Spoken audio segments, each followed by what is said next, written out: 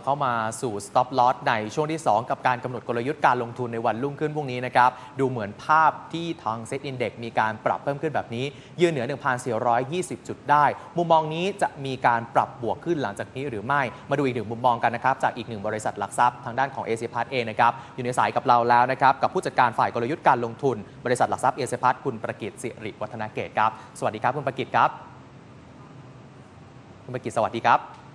ครับ ครับ คุณประกิตครับ ภาพรวมวันนี้เห็นมีการขยับปรับขึ้นยืนเหนือ 1,420 จุดได้แล้วนะครับ การสังเกตครับหลังจากนี้สำหรับภาพของเซ็ตอินเด็กไทยจะไปต่อไหมฮะ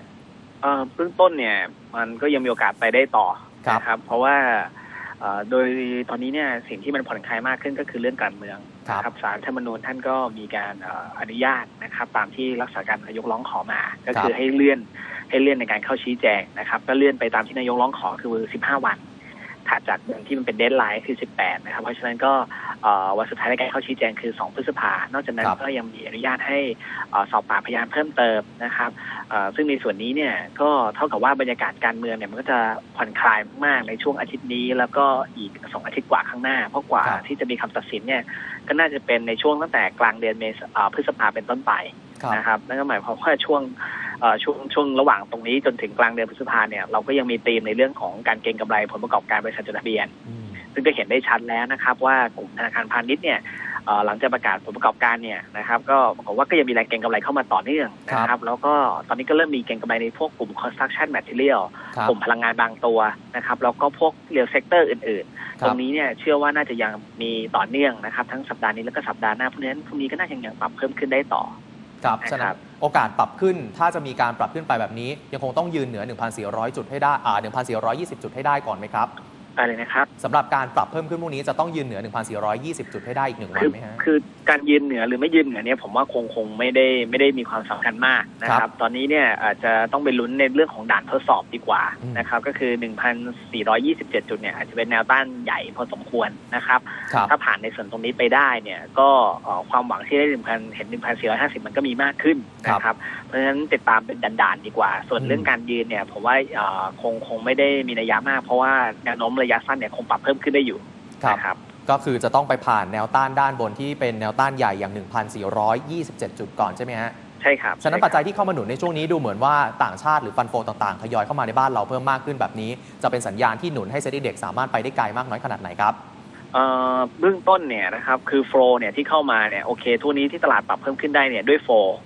นะครับก็คือด้วยเงินเม็ดเงินของลงทุนของต่างชาตินะครับก็ซื้อมาตั้งแต่ 28 กุมภาจนถึงปัจจุบันเนี่ยก็เรียกได้ว่ากว่า 2.4 หมื่นล้านบาทละครับนะครับซึ่งการซื้อมาตั้งแต่ 28 กุมภาจนถึงปัจจุบันเนี่ย 2.4 หมื่นล้านบาทเนี่ยผมก็ถือว่ายังเป็นระดับที่เอ่อมีโอกาสมาได้มากกว่านี้อีก เพราะว่าก่อนหน้านี้เนี่ยเมื่อปีที่แล้วเขาขายไปกว่า 2.4 แสนล้านบาทครับ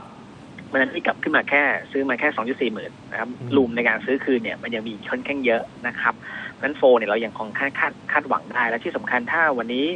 เขาเข้ามาซื้อสุทธิอีก มันจะเป็นการซื้อสุทธิ10วันต่อเนื่องอืม10วันต่อเนื่องเนี่ยเกินกว่า1 0,000ล้านบาทตามสถิติแล้วก็มีโอกาสสูงที่จะต่อเนื่องในวันที่11คือในวันพรุ่งนี้อีกนะครับ ก็เป็นไปได้ว่าตลาดเราน่าจะยังปรับเพิ่มขึ้นได้อยู่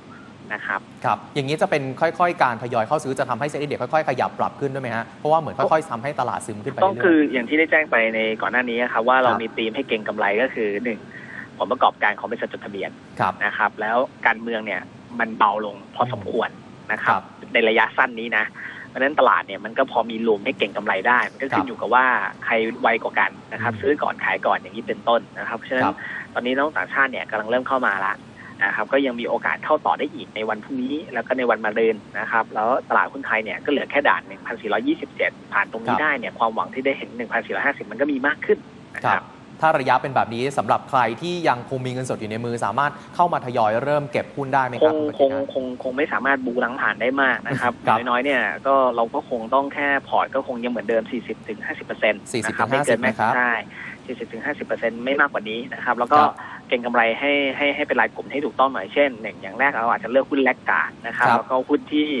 เอ่อแข็งแกร่งในเชิงสถิติเช่นมักจะปรับเพิ่มขึ้นเสมอในเดือนพฤษภาคมเนี่ยครับแล้วก็มีประเด็นให้เล่นอย่างเช่นหุ้น BGH เรายังสามารถเข้าไปลุยเก็บได้นะครับหุ้นเก่งกำไรงบนะครับก็อย่างเช่นทัสโก้กับหุ้นแกรนนะครับรวมไปถึคงรับหุ้น IML นะครับพวกนี้เนี่ยยังสามารถซื้อเก็บเก่งกำไรได้เหมือนกันครับเพื่อเก่งกำไรงบนะครับครับลองลงมาเนี่ยก็คืออยากจะเอ่อให้เล็งหุ้นเป็นบางตัวที่มีธีมผมก็เอ่อมีธีมที่ในระยะสั้นครับเช่นหุ้น IS นะครับพอดีครับมันจะใกล้เข้าสู่ฤดูกาลบอลโลกแล้วอืมนะครับระยะสั้นอย่าง RS นะครับ แล้วถ้ามองครับเฉพาะหุ้นในช่วงของเก็งกำไรที่บรรยากาศเป็นแบบนี้ คุณประกิตแนะนำตัวไหนดีครับ โอ้แน่นอนตอนนี้สุด ๆ เลยเก่งกำไรก็ทัสโก้กับแกรนนะครับ Tasco กับ Grand นะครับใช่ก็เป็นหุ้นที่เก่งกำไรงบนั่นเองนะคครับรับ ก็คือต้องรอดูในเรื่องของการเก็งกำไรที่จะมีการประกาศงบประมาณออกมาใช่ไหมฮะ ใช่ครับ อย่างสำหรับใช่คแกรนเองราคาตอนนี้น่าสนใจแนวรับแนวต้านยังไงบ้างครับ เอ่ออย่างตอนนี้แกรนเนี่ยนะครับ ก็วันนี้ก็มีการไล่ขึ้นไปที่ประมาณบาท72 แล้วก็โดนกดลงมาอยู่ที่บาท 66ครับนะครับเบื้องต้นก็เชื่อว่าคงกำลังเข้าสู่โหมดพักตัว แต่ว่าไม่น่าครับต่ำกว่าบาท 63 หรือบาท 64 มากนักนะครับ ก็สามารถเก็บสะสมได้ที่บริเวณประมาณบาท 63 บาท 64 นะครับ เพื่อเป้าหมายสูงสุดเนี่ยผมเชื่อว่าอ่าบาท 80 ไปถึงเบ้าแล้วก็สูงครับสุดก็คือประมาณ 2 บาทนะครับ สูงสุด 2 บาทนะครับ มีจุด stop loss ไหมครับ คุณประกิตครับเอ่อเบื้องต้นคิดว่า การตัดขาดทุนยังยังไม่น่าจะต้องไปคิดขนาดนั้นนะครับ เหตุผลเพราะว่าอะไรเพราะว่าในเชิงพื้นฐานเองเนี่ยก็แฟร์ value ที่ระวังไว้คือ2บาท50 นะครับครับคิดมาจาก PE อืม6เท่า ถ้าซื้อเนี่ยจริงๆ แล้วซื้อสามารถเพื่อหวังผลในการลงทุนระยะยาวได้เลยครับนะครับ เพราะว่าแกรนเนี่ยนะครับดำเนินธุรกิจก็คือมีอยู่ 2 ส่วนด้วยกัน ส่วนแรกก็คือเออพัฒนาอสังหาริมทรัพย์นะครับครับทำคอนโดขาย อีกส่วนหนึ่งก็คือทำโรงแรมนะครับอืมก็คือในเรื่องของการก่อสร้างโรงแรมแล้วก็จ้างคนมาบริหารครับซึ่งในส่วนนี้เนี่ยเอ่อ ในส่วนของการพัฒนาอสังหาริมทรัพย์เนี่ยเขามีคอนโดที่เอ่อเป็นโครงการใหญ่อยู่ก็คือครับเอ่อตัวไฮที่สุขุมวิทนะครับซึ่คงรับโครงการก็มีมูลค่ากว่า 5,000 ล้านขายไปแล้ว95เปอร์เซ็นต์อืมน่าจะเริ่มรับรู้รายได้ในไตรมาสหนึ่งนี้ประมาณ 2,000 ล้าน แล้วก็ภายในครึ่คงรับปีนี้เนี่ยก็น่าจะรับรู้รายได้ประมาณ 4.75 พันล้านนะคครัรับบยังไม่รวมพวกเอ่อธุรกิจโรงแรมที่น่าจะรับรู้รายได้ทั้งปีเนี่ยประมาณร้อยเอ่อประมาณเกือบเกือบร้อยล้านได้ เพราะฉะนั้นครับเอาขออภัยเอ่อประมาณเกือบเกือบประมาณเกือบเกือบพันล้านนะครับเพราะฉะนั้นรับรู้รายได้โดยรวมทั้งหมดเนี่ยน่าจะเฉียดเฉียดห้าพันถึงหกพันล้านอืมปีนี้เราวางกำไรไว้อยู่ที่ประมาณ1,160ล้านครับคิดออกมาเป็น EPS ก็0.42อ๋อ4 0.42บาทต่อหุ้นครับหรือ42สตางค์ต่อหุ้นนะครับอืมเพราะฉะนั้นถ้าคูณด้วย PE 6เท่ามันก็คือ2บาท50ครับแต่พอยก็คือธุรกิจโรงแรมแล้วธุรกิจโรงแรมโดยส่วนใหญ่ในอุตสาหกรรมเนี่ย PE มันเกิน 20 เท่าครับ อสังหาโดยส่วนใหญ่แล้วเกิน10เท่า เพราะฉะนั้น PE ที่เป็น fair value เราทุกวันนี้ยังถูกไปด้วยซ้ำไปเพราะฉะครันั้บนผมมองว่าแกลนเนี่ยเป็นหุ้นไว้เก็บสะสมเอ่อเป็น long term ได้แล้วก็เก็งกำไรระยะสั้นได้นะครับลองเทอมได้และเก่งกำไรระยะสั้นได้เลยนะครับ ครับครับเอาละครับ ขอบพระคุณมากนะครับ คุณประกิตครับครับ สวัสดีสวัสดีคครัรับบเอาละครับ หุ้นที่ทางคุณประกิตให้ไว้อย่างที่บอกไปนะครับ ตัวที่ยังคงน่าสนใจ หุ้นตัวเล็กที่เก่งกำไรกับผลประกอบการอย่างตัวแกรนนะครับ ให้ไว้ราคาเป้าอยู่ที่ประมาณ 1 บาท80 สตางค์นะครับ ซึ่งหลังจากนี้อาจจะมีการปรับขยับสูงไปได้ถึง 2 บาท ส่วนราคา Fair Value คุณประกิตให้ไว้ถึง 2 บาท 50 สตางค์นะครับ แล้วก็มองในเรื่องของราคาที่สามารถทยอยเข้าไปเก็บได้ 1 บาท 63 ถึง 1 บาท 64 สามารถทยอยเก็บได้ ส่วนการที่เซตอินเด็กนะครับมีการปรับภาพรวมหลังจากนี้ยืนเหนือ 1,420 จุดได้ คุณประกิตไม่ได้ให้มุมมองนะครับว่าต้องสามารถยืนเหนือ 1,420 จุดได้ แต่ให้ไปมองแนวต้านใหญ่หลังจากนี้ที่จะต้องผ่านนะครับคือ 1,427 จุด ซึ่งถ้าผ่านไปได้โมเมนต์หรือมุมมองอ่านการปรับขึ้นหลังจากนี้ อาจจะเป็นไปได้ที่เซ็ตอินเด็กอาจจะขึ้นต่อ แล้วก็ไปทดสอบที่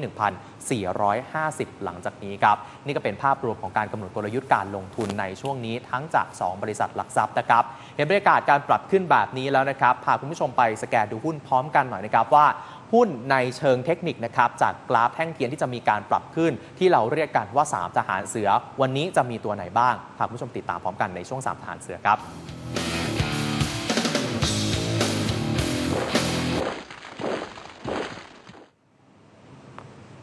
มาดูพร้อมกันเลยนะครับสำหรับ 3 ทหารเสือวันนี้มีอะไรบ้างนะครับที่กระดานเดี๋ยวผมจะพาคุณผู้ชมมาดู ตัวแรกครับวันนี้ที่จะมีการปรับเพิ่มขึ้นนะครับอันนี้เป็นกราฟ end of day ที่เกิดขึ้นจากเมื่อวานนะครับมีสัญญาณการปรับเพิ่มขึ้นอย่าง OFM หรือ Office Mate นะครับถ้าเห็นในช่วงท้ายของตารางคุณผู้ชมจะเห็นการปรับเพิ่มขึ้นแบบนี้ ของการปิดราคาที่เหนือจากราคาเดิมทุกวันนะครับเป็นเวลา 3 วันติดต่อกัน ซึ่งหมายถึงนะครับว่าการที่หุ้นตัวนี้จะมีการปรับเพิ่มขึ้น มีโอกาสเป็นไปได้นะครับแต่ทั้งนี้ทั้งนั้น เป็นเพียงแค่โอกาสตามทางเทคนิคของกราฟเท่านั้นนะครับคุณผู้ชมอาจจะต้องไปศึกษาในเรื่องของปัจจัยพื้นฐานของตัวหุ้นด้วย และก็รวมไปถึงปัจจัยต่างๆ ที่หุ้นตัวนี้อาจจะต้องมีการประกาศผลประกอบการ แล้วก็พื้นฐานต่างๆ ของหุ้นหลังจากนี้นะครับเพราะว่าถ้าดูจากกราฟเองเราจะเห็นการปรับเพิ่มขึ้น อันนี้เป็น OFM นะครับสำหรับตัวแรก นอกเหนือไปจากนี้นะครับคุณผู้ชมจะเห็นอีกหลายตัวนะครับอย่างแป๊บเองก็จะมีการปรับเพิ่มขึ้นเช่นเดียวกัน แล้วก็วิกรวมไปถึงซีมิโก้ก็จะมีการปรับเพิ่มขึ้น ทั้งหมดนี้ 4 ตัวนะครับเป็นหุ้นที่มีแนวโน้มนะครับทางกราฟเชิงเทคนิคที่จะปรับเพิ่มขึ้นสำหรับราคา